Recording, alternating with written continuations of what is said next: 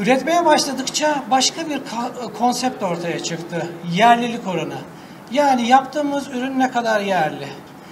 Bu sırada da gördük ki savunma sanayinde ne kadar yerliyseniz o kadar bağımsızsınız. Çünkü kritik ürünler olduğu için başka ülkelere çok bağımlı olmamanız gerekiyor. Heyecan bu sefer bunu yaptığımız ürünleri ne kadar daha çok yerlileştirebiliriz, yerli katkısını ne kadar arttırabilirizin heyecanıyla bu sefer çalışmaya başladık. Derken günümüze geldik ve diyoruz ki artık savunma sanayi bir dünya markasıdır. Türkiye savunma sanayi bir dünya markasıdır ve bu marka kendi kendine yetebilen bir savunma sanayidir. Bununla kalmayıp dost ve müttefik ülkelere de hizmet sağlayabilen, ihracat yapabilen güçlü bir savunma sanayidir. Bu aşamadan sonra bizim sektörümüzdeki heyecanlandıracak unsur nedir? Bizi heyecanlandıran artık yeni vizyonumuz ise madem böyle bir yeteneğimiz yıllar sonra 25-30 yılda böyle bir yetenek oluştu. Bu oluşan yetenek ve güç bir küresel güç olmasın. Bir büyüme olmasın bizler için. Bizim artık yeni vizyonumuz savunma sanayini bir büyüme, bir küresel güç haline getirerek büyümesini sağlamak.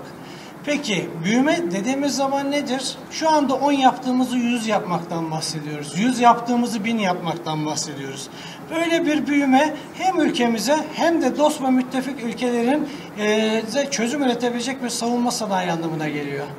Bu büyümeyi en etkin yapabilmenin tek yolu tedarik zincirini genişletmekten geçiyor dünyada.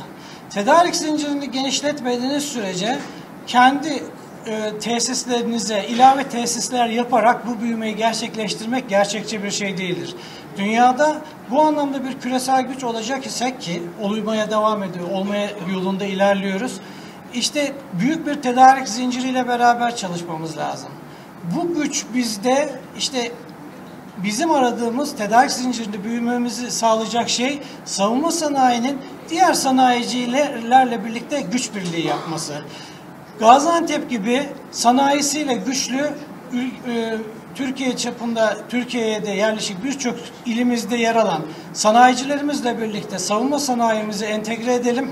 Onlarla daha gücümüze güç katalım ve bu tedarik zincirimizi daha da büyütelim ve bu büyümeyi sağlayabilelim diye bir heyecan içerisinde şu anda çalışıyoruz. İşte bugün burada olmamızın sebebi de e, kendi sanayisi çok güçlü olan Gaziantep'imizin savunma sanayiyle beraber entegrasyonunu daha fazla arttırmak, iletişimini kuvvetlendirmek, işbirlikli olasılıklarını güçlendirmek için biz ve savunma sanayinin önde gelen e, firmalarıyla burada sizlerle beraber da, e, görüşmeler gerçekleştireceğiz. Sunumlarımızı yapacağız, vizyonlarımızı ve süreçlerimizi anlatacağız.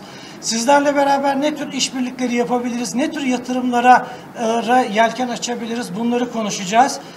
Genel yönetimler birazdan kıymetli Büyükşehir Belediye Başkanımız olacaklar. Sivil toplum kuruluşları, sanayi odası... Sizlerin temsil ettiği vakıf şirketlerinin şehrimizde yatırım yapması en büyük beklentilerimiz arasında yer alıyor.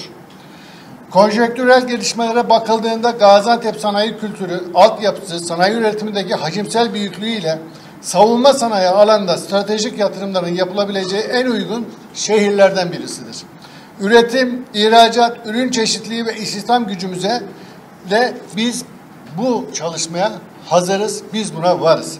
Böyle bir yatırım şehrimizin katma değerli üretime geçişinde katkıda bulunacak olup Orta Doğu ve Körfez ülkelerine yakınlığımızla savunma sanayisinde hem üretim hem de ihracatımızla yeni rekorlara imza atacağımıza inanıyorum.